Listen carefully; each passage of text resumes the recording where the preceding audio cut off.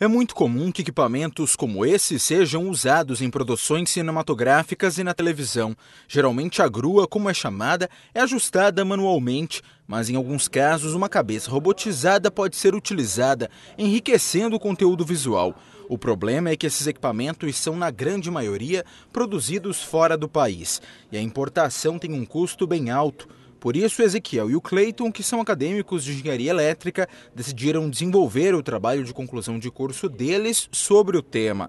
Eles criaram esse protótipo de cabeça remota para a câmera e batizaram de Perseu.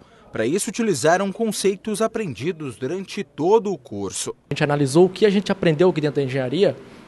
A gente aprendeu sobre cálculo, sobre física, microcontrolador. Então a gente juntou tudo isso e aplicou nesse projeto. Então a gente se sentiu seguro para projetar esse, esse equipamento. A intenção foi criar um equipamento focado no controle remoto dos movimentos, a partir de uma interface por controle intuitivo. O objetivo do equipamento é justamente dar maior flexibilidade para a câmera nas produções de televisão. Todo engenheiro, toda graduação, todo curso em si, se não tem algo prático, não, não tem valor, eu acho, no meu ponto de vista, né? Para melhorar alguns conceitos dos projetos, os estudantes consultaram profissionais da Unisul TV que poderiam utilizar equipamentos como esse nas produções. O curso de engenharia elétrica fica muito engrandecido dessa parceria entre nós, o curso de engenharia elétrica e a Unisul TV, que no futuro pode usar uma grua dessa para os trabalhos dentro da Unisul TV. Isso é gratificante para o curso de engenharia elétrica. Outro fator que prejudica a indústria de cabeças de câmera assim